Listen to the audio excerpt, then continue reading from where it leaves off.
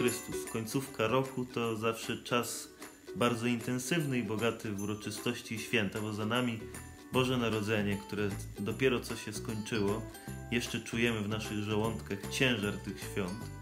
A przed nami kolejne wydarzenie, kolejne świętowanie, bo przełom roku. Nowy rok 2018 to też okazja do tego, by Bractwo Świętego Pawła zaskoczyło nas miłą niespodzianką, a jest nią nowy projekt, portal tożsamość.net, y, który będzie mówił o tożsamości mężczyzny w dzisiejszym świecie, o jego zadaniach w rodzinie jako męża, jako ojca, o jego roli w kościele.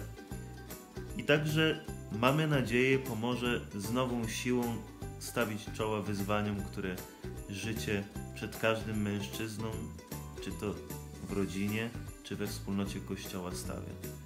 Serdecznie zapraszam do e, korzystania z tego bogactwa treści, które e, będzie obecne w portalu. Serdecznie zapraszam ksiądz Mateusz Tarczyński, redaktor tego nowego projektu.